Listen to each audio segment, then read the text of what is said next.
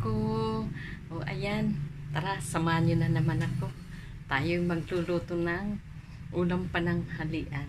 Ang lulutuin ko ngayon ay ginataang sigarilyas at kalabasa. Yan guys, gulay-gulay naman tayo ngayon. Tsaka ano, pritong galunggong. Yun ang menu ko ngayon. Para sa tanghali. So, ayan guys. Ito yung mga sangkap ng ginataang kalabasa. Gulay na kalabasa at sigarilyas. Ito yung unang gata, pangalawang gata, at sasahugan ko ng karning baboy. At itong hippie guys, yung dried shrimp. At saka siling pula, luya, at sibuyas. At ito yung sigarilyas. Tsaka yung siling green guys, dalawa, hinalo ko dito. Hiniwa ko kas kasize ng sigarilyas tsaka kalabasa tsaka ito yung galunggong guys ipreprito natin mamaya so ayan aasinan muna natin yung galunggong bago natin iprito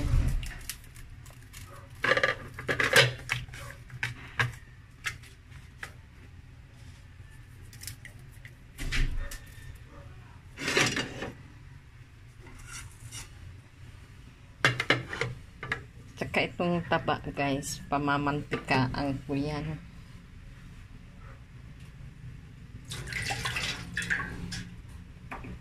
Chichicharong ko muna yan guys para makain ng mga anak ko. Ayaw kasi nila kumain ng taba. So, ayan. Nagyan ko siya guys ng kaunting tubig at kasaka kaunting asin. So, pamamantikaan natin yan. Tsaka yung magiging mantika niya guys, yun ang ipanggigisa natin sa sibuyas sa luya.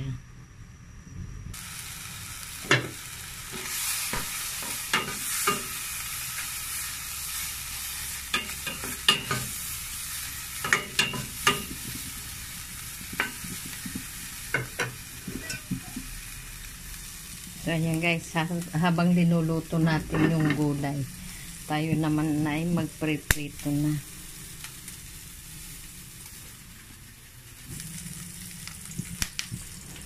Lagyan na natin ng mantika. Ito.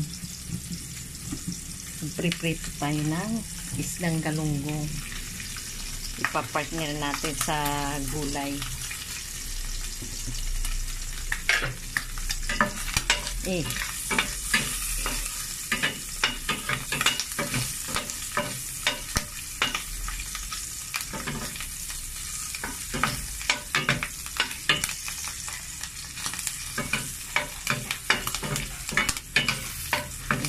Magmika na siya guys.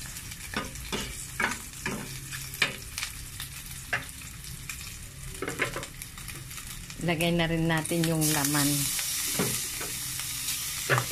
Pinaghiwalay ko yung taba guys.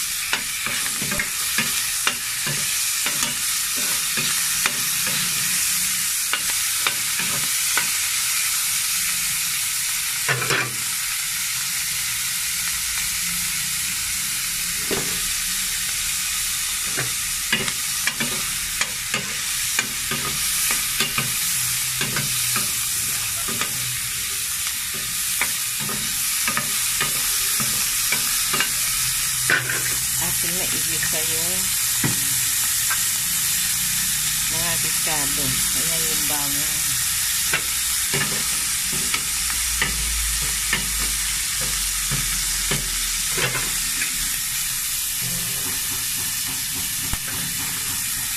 Pagsabayan na natin guys yung sibuyas at luya.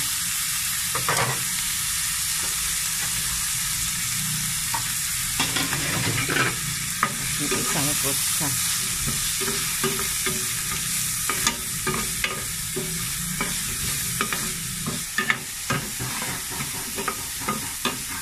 bango.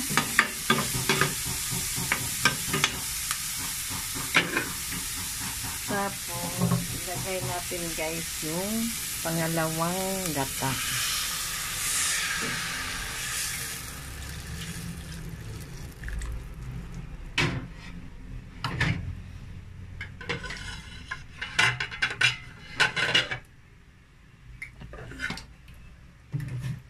Lagyan na rin natin ng asin guys. Para habang pinalalambot natin yung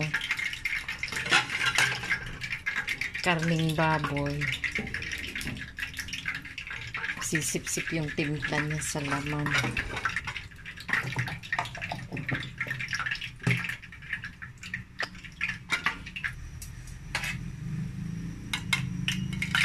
Yan, pwede na. Mainit na yung mantika. At na i-prito yung isda.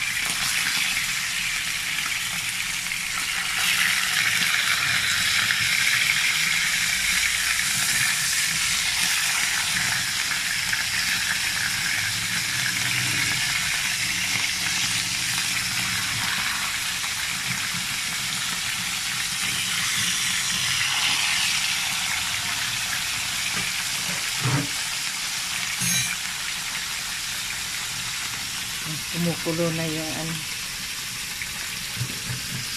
Yung pinalalambot natin yung laman ng baboy guys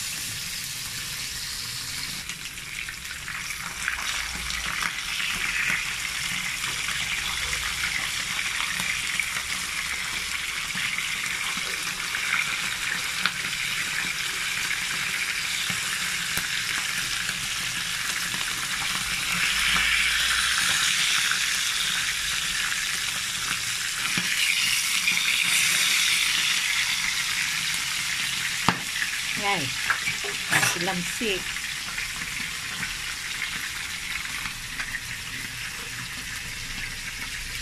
Ayan guys, ilagay na rin natin yung hibi. Hinugasan ko siya guys ng isang bisis.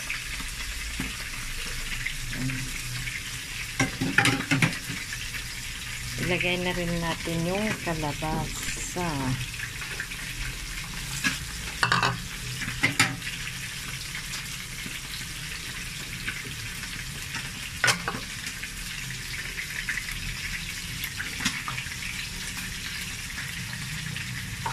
Tapos i ibabaw na rin natin itong sigarilyas guys.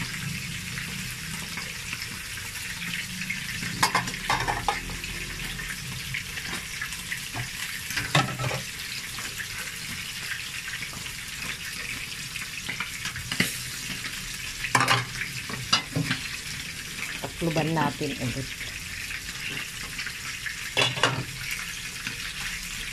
Lagyan na rin natin yung ano, magic sarap guys. Kaunting magic sarap lang. Ayan.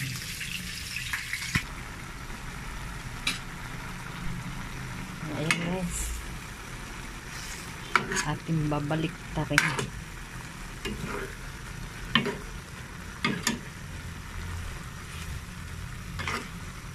Ang bango niya guys.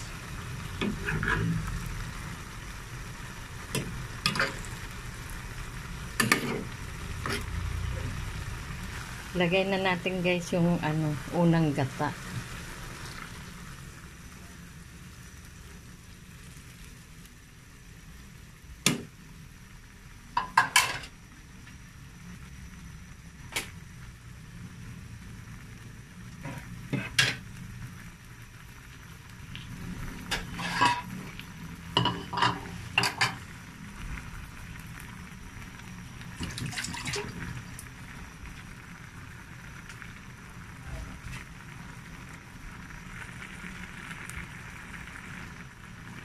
Huwag nating takpang guys para maglangis-langis.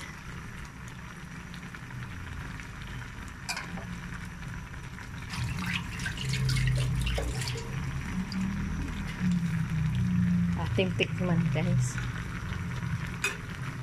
Tikin-tikin. Hmm. Sarap guys, tama lang ang timpla niya. Tama lang ang alat. Masarap, maanghang guys. Kasi yung siling green, iniwa-hiwa ko siya guys, dalawang peraso. Eh, naglagay pa ako ng siling labuyo. Sarap.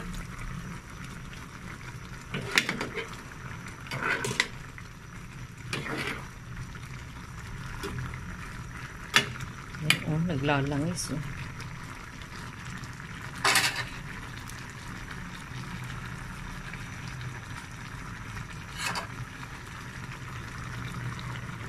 Yun. Yung hipi guys. Yung hipon pala ito na maliliit. Ginawang ano. Dried shrimp. Ang sarap niyan guys. Naglalangis yung ano niya. Ang sarap.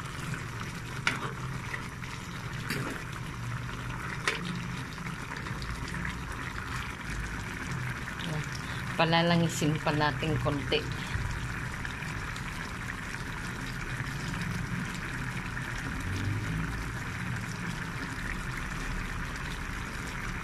Ayan guys. Okay na yan. Baka naman matuyuan. Ayan guys. Luto na ang ginataang sigarilyas at kalabasa. Yan guys.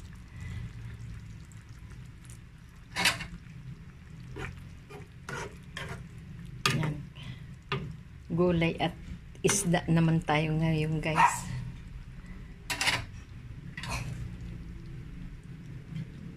Masarap ang gulay.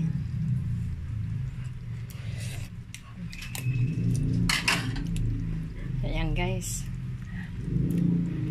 Kung bago lang kayo sa channels ko guys, paki-subscribe, like and share. And don't forget to hit the bit button bell para lahat ng mga videos ko ay yung mapapanood. Ayan guys, ito na yung finished product natin. Ayan. Ito yung gulay na ginataang sigarilyas at kalabasa. At ito naman yung pritong galunggong. Ayan. Partner na sa gulay yung pritong isda. So, ayan guys, bye-bye.